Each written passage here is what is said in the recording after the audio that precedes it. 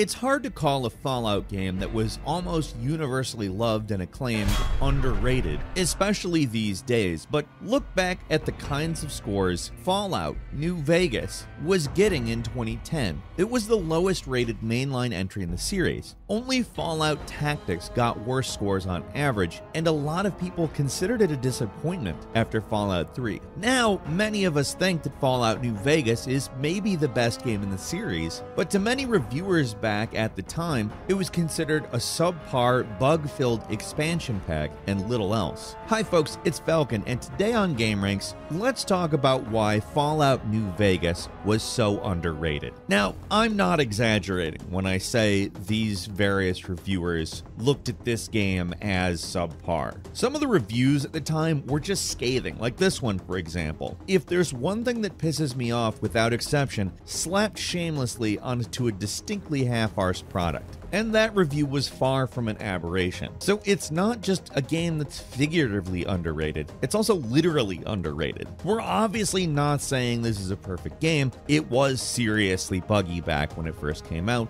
but even then, the rest of the game was so good, it really didn't matter that much, at least to us. So let's start off with some history. The Fallout series didn't actually start at Bethesda, but rather a small outfit called Black Isle Studios. Though they were only around for a few years, their original run lasted only from 1996 to 2003, they left a pretty huge mark on the gaming industry. The original Fallout was their first game in 1997, and they followed that with a sequel in 1998, both of which earned critical praise for their setting and storytelling. To call these games groundbreaking would be a huge understatement. Uh, like, they didn't exactly invent the open world RPG, but they took the RPG format and used it to tell a unique story set in a post apocalyptic America that was part Mad Max, part 1950s pastiche. And while they're pretty archaic to play these days, those original Fallout games still hold up for their writing and world building, along with some pitch black humor that made the game almost feel like a parody at times. Yeah, it was all originally supposed to be based off of the game Wasteland, but the developers managed to make the setting their own. When Black Isle's parent studio, Interplay, folded in 2003, Black Isle's plans for a third Fallout game, then known as Van Buren, crumbled, and for all we knew, the franchise was dead. That is, until Bethesda's surprise announcement of Fallout 3 in 2007. This is kind of a tangent, but man, it was a hype trailer.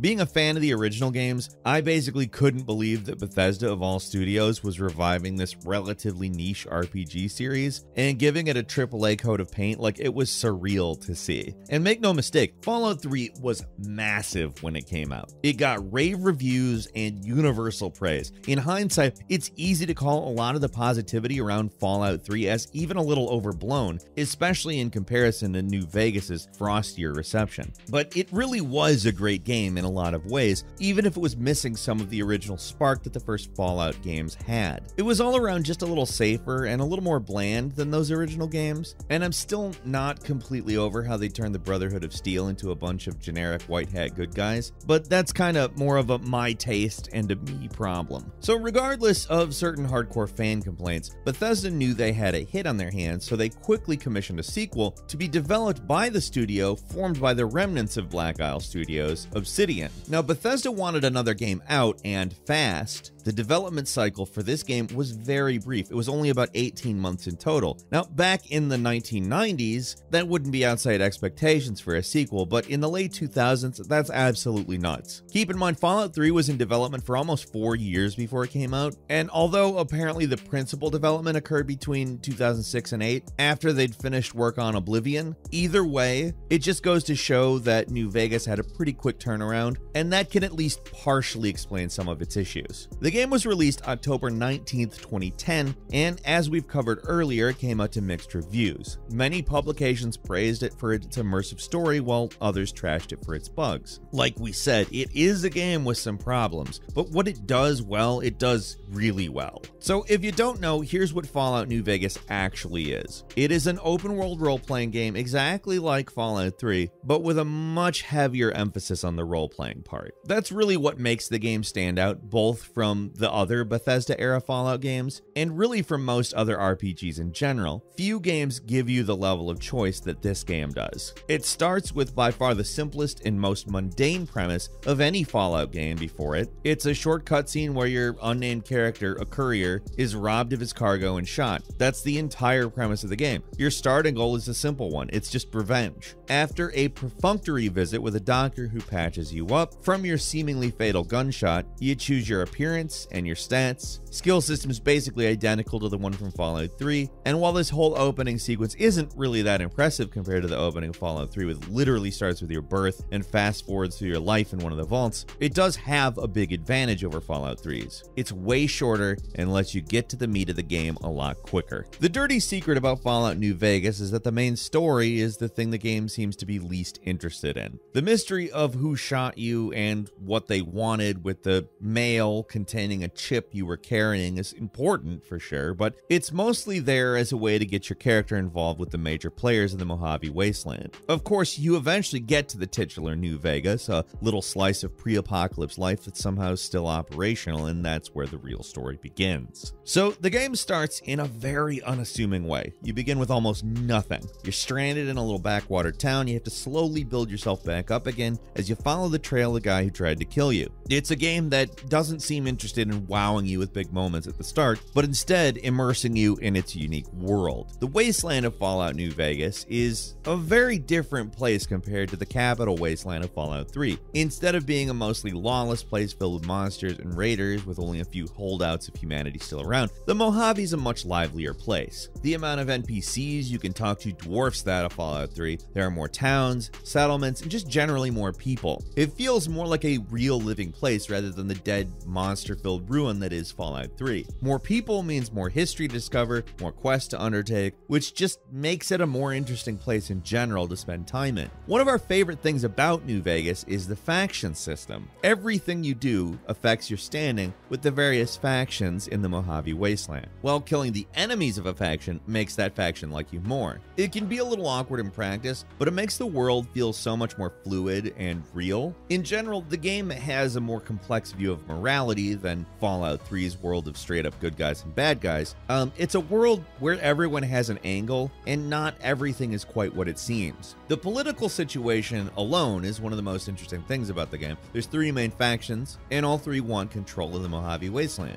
There's the New California Republic, a representative democracy that's currently trying to expand and wants to annex New Vegas. Their basic goal is to return to the America of the past, with all of the positives and negatives that entails. And they also have fascinating history all their own. Another faction is Robert House, the founder and CEO of Robco Industries from before the nuclear war and is the current leader of the New Vegas Strip. He's more of an enlightened dictator type who'd prefer that New Vegas remains independent and under his control. He's disillusioned about democratic society because of the war and doesn't respect or trust the New California Republic or the tribes of the East. The third faction is maybe the most interesting. That would be Caesar's Legion, spelled Caesar but pronounced Kaiser by Legion members. A brutal conglomeration of tribes, gangs, and thugs who see classical Rome as the proper model for society rather than democracy. They rule their own territory with ruthless efficiency. Uh, they enslave people, they crucify them, and they kill entire towns of people to instill terror against anyone they're trying to conquer. Unlike the NCR Mr. House, they mostly ignore old world technology and see anyone who relies on it as weak. Seriously, these guys are something else, and there are a few villain groups in video games who come off quite as despicable as they do. There's pretty much no atrocity they're above doing, and that makes them really hateable. And they are so smug. At the same time, they make sense. They're understandable and, in some ways, fairly realistic. They make a certain twisted kind of sense. That's what makes the world of Fallout New Vegas so interesting. It feels like a reflection of reality in a lot of ways. Instead of telling you these are the bad guys and these are the good guys, they present you with different ideas and let you come to your own conclusions. Because at the end of the day, it's up to you to decide what actually happens to the Mojave Wasteland. You can decide to side with any of the three main factions, and you cannot. You can go your own way. So that means there's four main routes you can pursue, and while they all climax at the Hoover Dam, what you actually do up to that point can be wildly different. Even now, very few games have this layer of player choice going on. Uh, like almost everything you do has some effect regarding what ending you get, and there there are so many variations that it's kind of mind boggling. Your choices obviously affect the fate of the three main factions, but there's a lot more to it. What you do in towns, certain quests, how you choose to resolve certain companion stories, it, it all has a possible impact on your ending. Another thing that's a big step up over Fallout 3 are the companion. They added a much needed companion wheel that allows you to more easily and quickly give orders and swap equipment with your companions, which makes them all around a lot more useful. Of course, making it so they can't just randomly die also makes them more helpful. So while companions are much more effective as actual helpers in the game, what makes them so great is that they actually have unique personalities. No other Bethesda game has a roster of companions as good or as memorable as this one. Uh, almost every character is just fantastic. The first most encounter is probably Craig Boone, a former NCR sniper with a big chip on his shoulder. Uh, he's an incredibly powerful ally that can trivialize certain enemy encounters, so he's just good to have around just for that. But really, they're all great. There's Veronica, a Brotherhood of Steel scribe, who shows a very different depiction to that faction compared to the depiction in Fallout 3. There's also Arcade, a dude with a connection to the Enclave, the main bad guys from Fallout 2 and 3. There's Lily, the Nightkin super mutant, the former member of the Master's Army from Fallout 1. Like, all these characters are interesting in their own right. There's more we haven't mentioned, but you get the idea. They're seriously all great. Fallout 4 has some great companions, to be sure, but I just don't think any other game in the series beats New Vegas for the quantity and quality of its companions. We've been focusing on the story so far, but there were also a lot of smart mechanical improvements going on in New Vegas. They're not quite as obvious as all the story stuff, but Obsidian really did make a few changes that made New Vegas an all around more fun game to play than Fallout 3. Another major improvement to combat comes with the damage threshold system, which basically controls how much damage you or an enemy will take depending on your armor values. Originally in Fallout 3, tougher enemies simply had a certain damage resistance, which could turn battles into a tedious slog as you waste your time trying to slowly chip away at an enemy's massive health bars. While in New Vegas, there are ways to bypass an enemy's armor and do a lot of damage to them regardless of their level. It's a complicated system to explain, but in general, it makes it so that at high levels, enemies are much less tedious to deal with in New Vegas. Now, you can die faster too, but we'll take a battle that can end quickly over one that takes forever and a day. Another interesting addition is Hardcore mode, which introduced a ton of survival elements into the gameplay that make it a lot tougher. Stim packs no longer heal instantly, crippled limbs can only be healed through certain methods, ammunition actually has weight, companions can die, your character actually has to eat, drink, and sleep, or they suffer from negative effects. For players looking for a challenge, it's a new way to play the game and adds a lot of interesting complications. We're mostly here for the story, so it's not something I've personally spent a lot of time with, but it's a cool feature anyway. There are other minor things that add up to make the game a lot more interesting as well, like the greater number of guns. Like in Fallout 3, it's pretty easy to get tons of ammo because there were only a couple of ammo types, but in New Vegas, it can actually get a bit difficult finding the right ammo just because there are so many different guns that require different ammo that it makes it so you might actually run out of ammo sometimes, which helps uh, sell the fact the game takes place in a, you know, post apocalyptic wasteland. Along with all that, there's a pretty robust weapon modding system that's nothing compared to Fallout 4, but was pretty cool, as well as various forms of gambling, including a Gwent like game called Caravan. So while the gameplay improvements were mostly minor, altogether they add a lot to the experience. Another thing that's unique about the game is the world itself. Instead of throwing you into a big open world and letting you go whatever direction you want, the game follows a little more linear path, you know, if you're sticking to the story. Instead of being a big playbox, the world is shaped more like a racetrack. There are some mountains in the middle, you start off at the bottom left, eventually you make your way up north where New Vegas is, and normally the game wants you to take the long way around instead of just heading north from Goodsprings, and the encounters are more manageable if you do that, but if you straight up just decide to take the road, the I-15, you'll find the pass overrun with Deathclaws, some of the more dangerous creatures in the Fallout universe. And unless you're really good at sneaking or just really lucky, they'll kill you in seconds and you'll be forced to take the intended route to the east. Now, the fact that you can sneak by these guys is awesome though. The game wants you to go in a certain direction, but if you really want, you can go a completely different direction. I think that's what really makes New Vegas different from a lot of the other games that came out in that time period, especially. Instead of putting a hard stop on the player and saying no, it just does things to encourage players to follow the path they want you to go on, but you can still do something different. Certain choices or styles of gameplay are definitely less effective than others, but the game lets you build a character how you want to, and because there's some resistance, it makes your choices actually feel important. That's actually the problem with a lot of open world games where they make everything just a little too player friendly. Like in most games, they make it so you can't screw yourself by killing an NPC that's important. They just do it by making it so NPCs can't be killed. But in New Vegas, they just say screw it. Like you can kill an incredibly important NPC, a leader of one of the main factions, by mistake right at the start of the game. That's what's so great about it. It gives you the tools to make the story of the game feel like your story. In Fallout 3, you're chasing after your dad and then fighting the Enclave because the game tells you to. In Fallout 4, you're looking for